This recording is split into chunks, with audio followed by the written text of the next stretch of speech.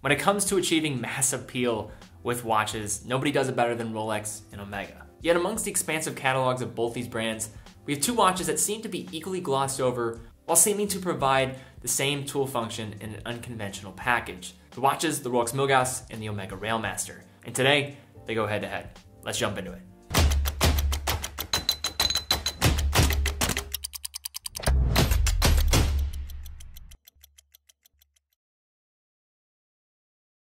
Now the two models that we have here today are modern interpretations of the Milgauss and the Railmaster line. The Rolex Milgauss 116400GV with a blue-green sunburst dial or known as Z Blue and was first introduced back in 2014 and then the Omega Railmaster or technically referred to as the Seamaster Railmaster However, I'll just refer to it as the Railmaster going forward. But this watch was an addition to the Seamaster family back in 2017, along with the Railmaster limited edition celebrating the 60 year anniversary of the line.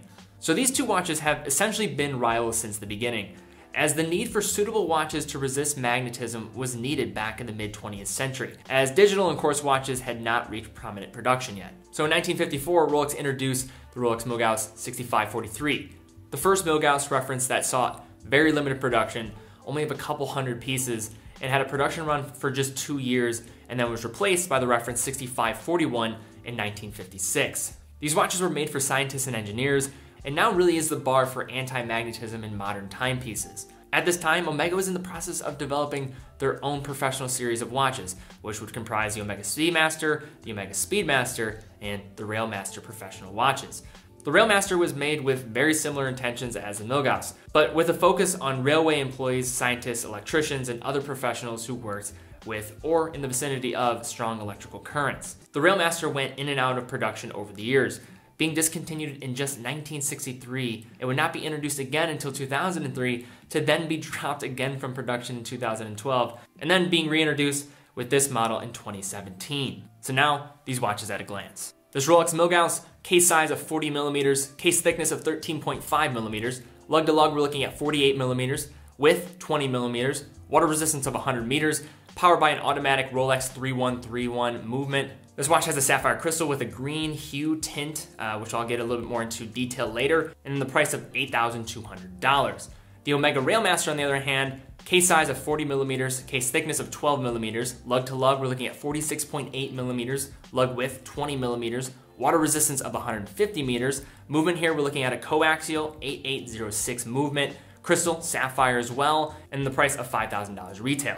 And before we get too far into this, I want to thank Bob's Watches for sending me these watches. They're a partner of the channel. If you use the link in the description to buy these watches as well as any other watch, that supports the content that we're watching. I mean, this Omega Railmaster here, I think they have it up for like $3,695. So pretty good deal there. Also, big shout out to Hither Stitch. I'm actually wearing some of their clothes right now. Been a big fan of them for honestly many years now. They just made announcements of some additions to their spring catalog, so definitely check it out, as well as a really cool new boot line that they have just launched. And if you use the link in the description, you can get a 20% discount off your first purchase with the brand, as well as getting an additional discount for being a viewer here if you put in the promo code that I have in the description down below. So big thank you to them as well. So looking at these watches, we have two very different dial designs, but essentially at their core, they're aiming to do the same thing, with them being essentially tool watches at the core.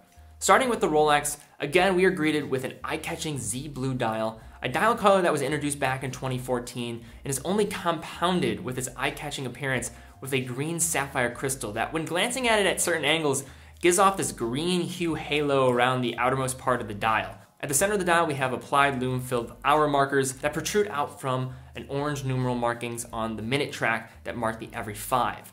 At the 6, the two-line call-out of the movement's chronometer certification, and at the 12, a Rolex crown with three-line lettering with all caps saying Milgauss at the bottom line, coming in orange, matching that legendary orange lightning bolt second hand, a hallmark to the line that was first introduced back with the reference 6541.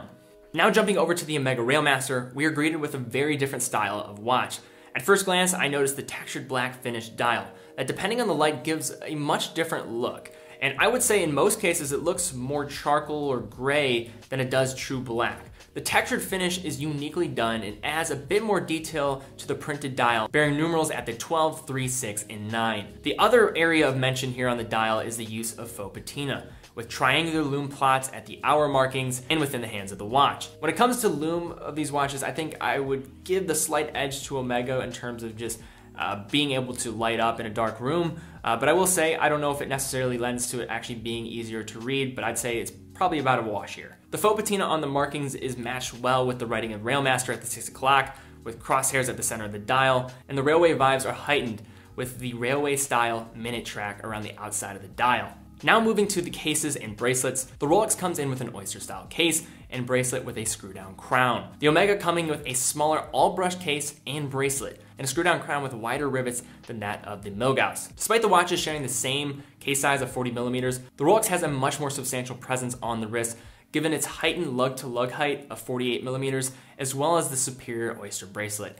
Although the dial finish and applied indices on the dial of the Rolex is also superior in my opinion, I think the bracelet is where the vast difference in price is most felt. As the bracelet is a bit underwhelming on the Omega, especially at the clasp when compared to that of the Rolex. As the Rolex also comes with an Oyster clasp, with coming with 5 millimeters of comfort extension when needed.